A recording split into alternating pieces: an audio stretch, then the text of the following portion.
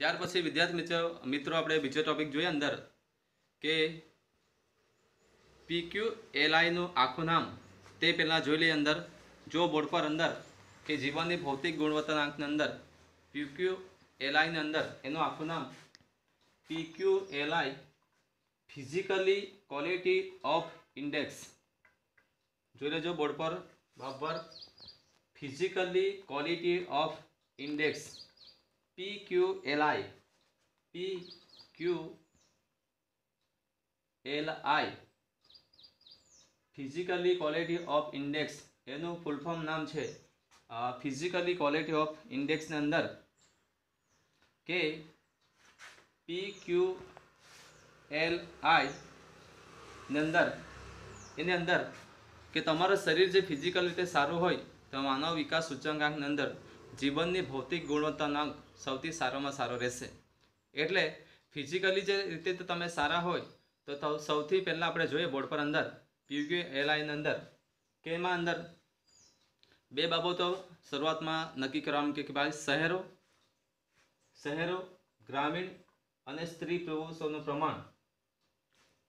શહેરોનું અને ગ્રામીણ, સ્ત્રી અને પુરુષોનું પ્રમાણ પીક્યુ એલઆઈની અંદર નક્કી કરવામાં આવે છે કે આપણે જોઈએ અંદર કે શહેરોમાં ઘણા બધા લોકો શિક્ષણ લઈ શકતા હોય, જ્યારે ગ્રામ્યની અંદર ઓછું પણ શિક્ષણ લઈ શકતા હોય એવું પણ બની શકતું હોય. તો શું ભેદ છે એના અંદર? તો અમુક ગ્રામ્ય વિસ્તારમાં એવું પણ નક્કી કરવામાં કે લોકો રોજીરોટી કામ કરવા માટે અમુક ન પણ ભણાવી શકતા હોય. જ્યારે શહેરના અંદર ઘણી બધી સુવિધા મળી રહેતી હોય. જે રીતે જોઈએ આપણે, તો સ્કૂલ પણ નજીક હોય, જવાનો રસ્તો પણ હોય ટ્યુશન જે રીતે આપણે જોઈએ, તો એને વાહન વ્યવહારની સગવડ પણ મળી રહેતી હોય, બધી જ જાતની ફેસિલિટી મળી રહેતો હોય, તો શહેરનો આંક વધી પણ જતો હોય. જ્યારે ગ્રામ્ય વિસ્તારમાં હોય, કે એની લાઇટની સુવિધા ન મળી શકતી હોય, રસ્તાની સુવિધા ન મળી શકતી હોય, અમુક કિલોમીટર સુધી એને ચાલતા જવો પડતો હોય, તેવું બની શકતું હોય. એટલે સ્ત્રી અને પુરુષોનું પ્રમાણ પણ પીક્યુએ લાઇનની અંદર જીરોથી સો ટકા સુધી લઈ જવા માટે ગ્રામ્ય વિસ્તારમાં પણ ઘણી બધી સરકારે મહેનત કરી છે. અને જીરોથી સો ટકા સ્ત્રી અને પુરુષોનું શિક્ષણ મળી રહે તેવું પણ ધ્યાનમાં લેવામાં આવ્યું છે.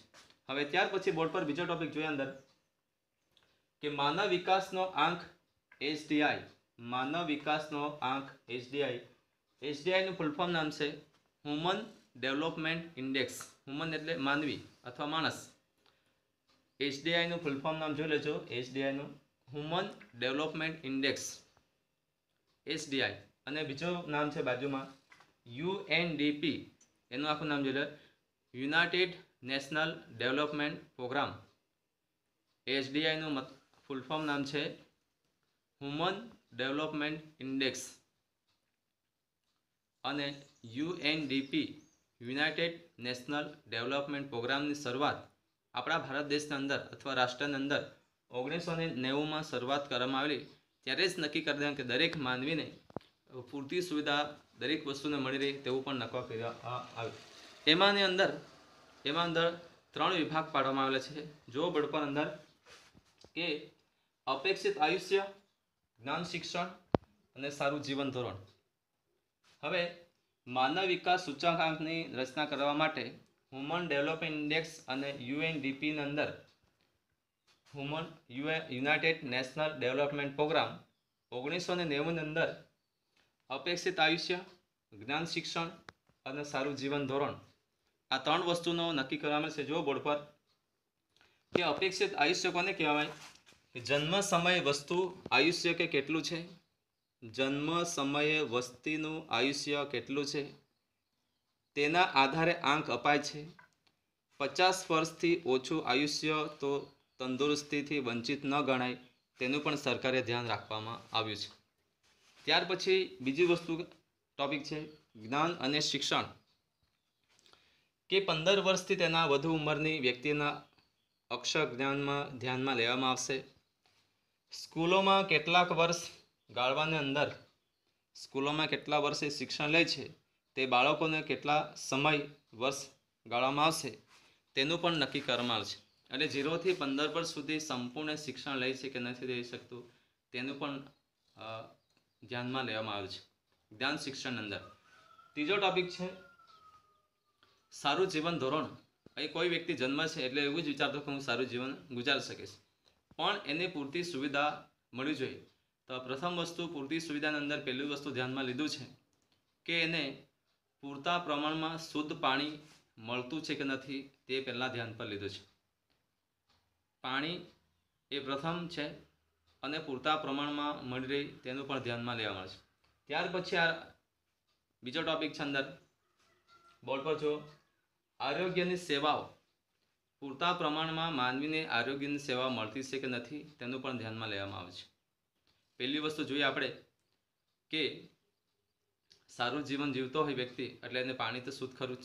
આરોગ્યની સુવિધા મળી કે નહીં તે પણ વિચારવું છે. અને પાંચ વર્ષનું નાનું બાળક પાંચ વર્ષનું નાનું બાળક હોય તો એને પ્રોટીનદાર છે, ચરબીદાર છે, પૂરતી સુવિધા મળી રહી છે, બાળક પણ તંદુરસ્તી છે. એટલે એનું ઓટોમેટિક આયુષ્ય વધ્યા જ વર્ષે પણ એની સાથે ખાસ આરોગ્યની પણ કાળજી રાખેલી છે. પાણીની પણ કાળજી રાખવામાં આવેલી છે. તો કોઈ વ્યક્તિ બીમાર ન પડતો હોય, તેનું પણ સરકારે ધ્યાન લીધું છે. એટલે માનવ વિકાસ સૂચકાંકની અંદર, નિર્દેશકોની અંદર કે હ્યુમન ડેવલપમેન્ટ ઇન્ડેક્સ અને યુનાઇટેડ નેશનલ ડેવલપમેન્ટ પ્રોગ્રામની અંદર ઓગણીસો નેવુંમાં જ્યારે ત્રણ ટૉપિક પાડેલા, ત્યારે કીધું કે અપેક્ષિત આયુષ્ય, જ્ઞાન, શિક્ષણ અને જીવન, સારું જીવન ગુજારતો હોય તેવી આટલી સુવિધા નક્કી કરવામાં છે ત્યાર પછી બોર્ડ પર જુઓ અંદર કે જે પ્રશ્ન છે આપણા, કે મુખ્યની બાબતોની અંદર જોઈએ આપણે, વર્ષ બે હજાર ચૌદમાં દુનિયાના એકસો અઠ્યાસી દેશોમાં, વર્ષ બે હજાર ચૌદમાં દુનિયાના એકસો અઠ્યાસી દેશોમાં હ્યુમન ડેવલપમેન્ટ ઇન્ડેક્સમાં, હ્યુમન ડેવલપમેન્ટ ઇન્ડેક્સમાં ઝીરોથી નવસો ચુમ્માલીસ આંક સાથે નોર્વે દેશ પ્રથમ આવે છે.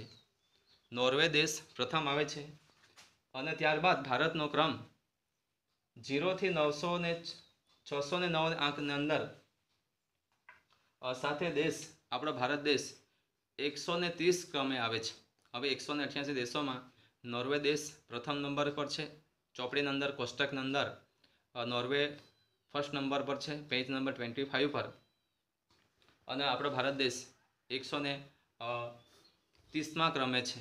એટલે આપણે હજુ કેટલું આગળ વધવાનું છે ઝીરોથી સો ટકાની અંદર, પીપીએલની અંદર, આપણે પણ ઘણી બધી મહેનત કરવાની છે, એવું પણ ધ્યાનમાં લેવામાં છે ત્યાર પછી આપણે બીજા નંબરની ટોપિક જોઈએ અંદર, કે જે પ્રશ્નો છે, જુઓ અંદર. અપેક્ષિત આયુષ્ય એટલે શું? એ વિકાસની મર્યાદાઓ જણાવો. વિકાસના નિર્દેશકો શું છે?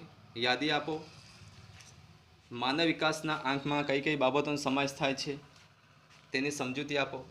એટલે, આ જે સ્વાધ્યાય તમે લખવાના છે, એની અંદર પ્રશ્ન છે તો, પહેલો પ્રશ્ન છે આપણે, અપેક્ષિત આયુષ્ય એટલે શું?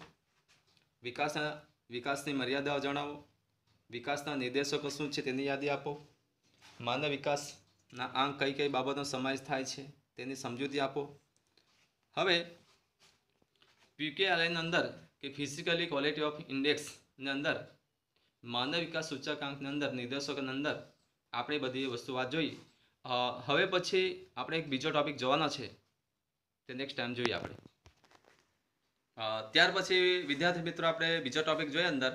કે માનવ વિકાસ સૂચકાંકની અંદર, નિર્દેશકોની અંદર કે વર્ષ બે હજાર પંદરના માનવ વિકાસના અહેવાલના તારણો, ચાર તારણો કાઢેલા છે. બે હજાર પંદરના માનવ વિકાસના અહેવાલના તારણો ચાર ટોપિક છે.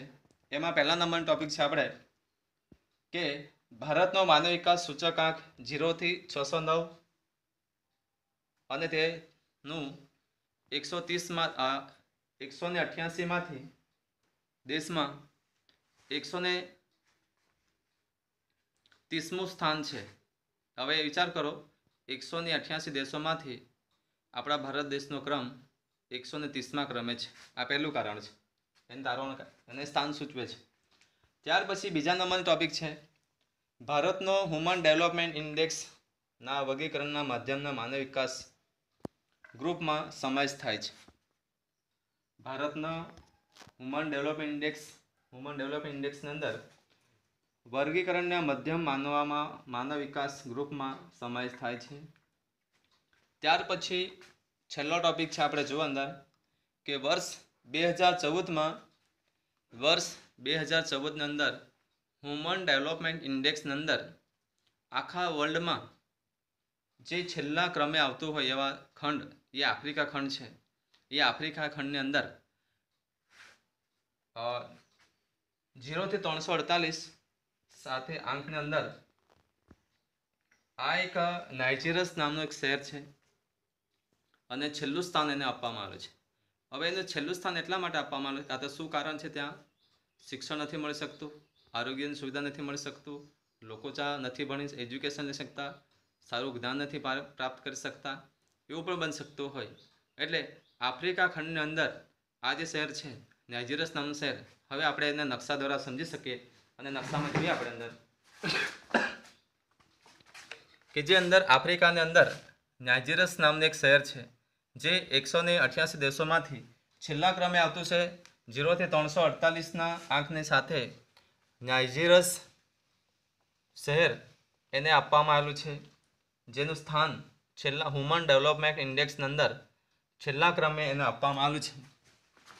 એટલે માનવ વિકાસ સૂચકાંકની અંદર આપણે જે તેની મર્યાદાઓ જોઈ અપેક્ષિત આયુષ્ય વસ્તુ જોઈ સારું જીવન ધોરણ એટલે જીવનની ભૌતિક ગુણવત્તાના આંકની સાથે આપણે જે અર્થશાસ્ત્રની અંદર, ધોરણ બારની અંદર જોવાનું છે, અને જોયું પણ, અને પીક્યુ એલઆઈની અંદર કે જે ફિઝિકલી ક્વોલિટી ઓફ ઇન્ડેક્સ, જેનું નામ આખું કહેવામાં આવશે કે પીક્યુ એરલાઇનનું આખું નામ? ફિઝિકલી ક્વોલિટી ઓફ ઇન્ડેક્સની અંદર શહેર હોય, ગ્રામ્ય વસ્તી હોય કે વર્લ્ડમાં અંદર હોય કે એકસો ને અઠ્યાસી દેશો જ્યારે ભેગા થયા તેમાંથી આપણા ભારત દેશનો ક્રમ એકસો ને ત્રીસ ક્રમે આવે છે અને છેલ્લા ક્રમે આફ્રિકા ખંડની અંદર જે નાઇજીરસ નામને જે નકશામાં તમને બતાવ્યું.